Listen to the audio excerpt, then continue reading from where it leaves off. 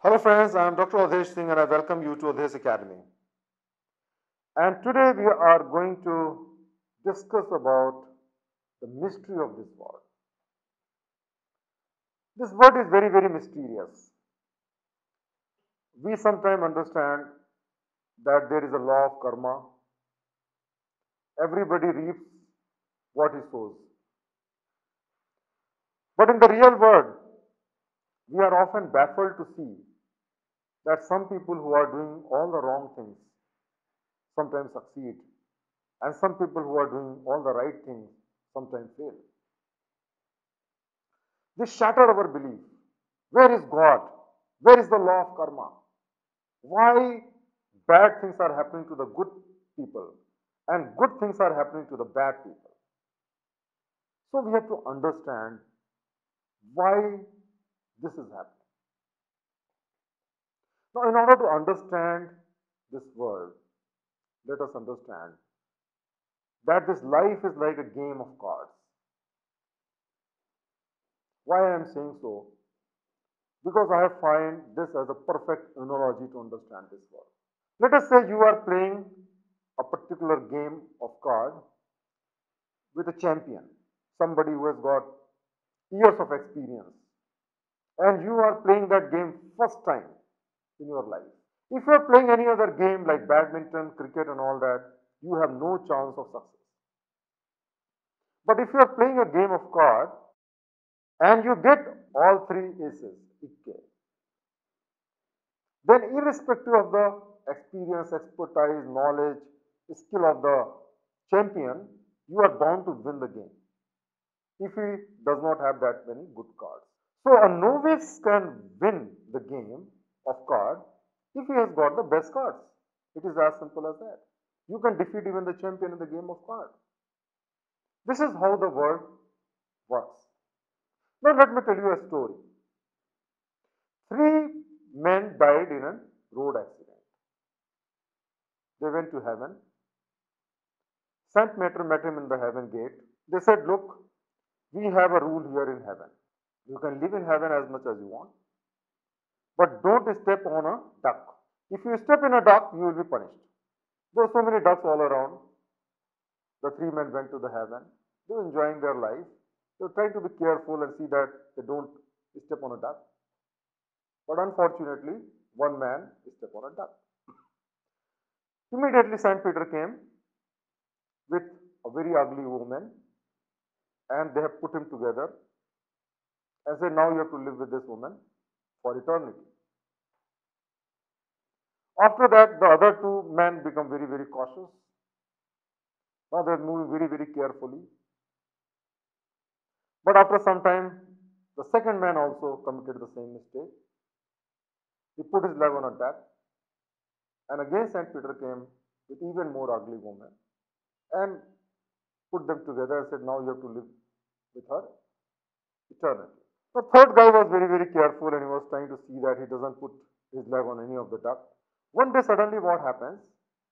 That St. Peter came with, one of, with the most beautiful girl, with the most beautiful lady, and put them together. Now, this guy was very, very happy. And then he did not know why he got this award. So he asked this lady, I wonder, you know, how I got this reward. She said, I don't know what you have done, but I put my leg on a duck. The meaning is that she was punished.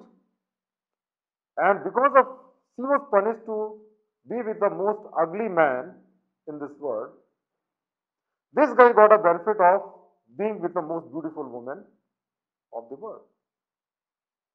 So you see, sometimes you get award, success because of somebody else's fault.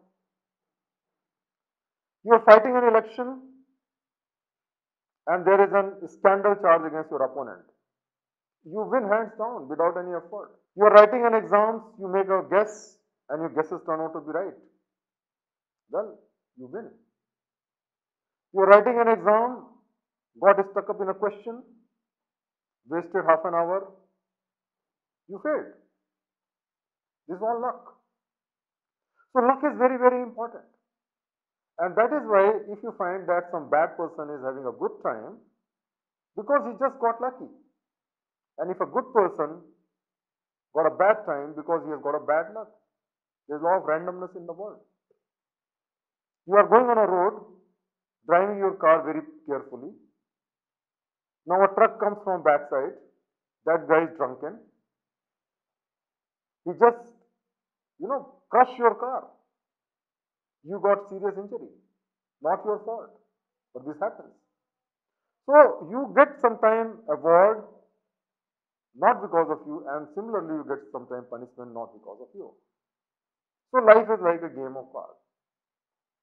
But friends, one thing you must understand that luck is not favorable to anybody all the time.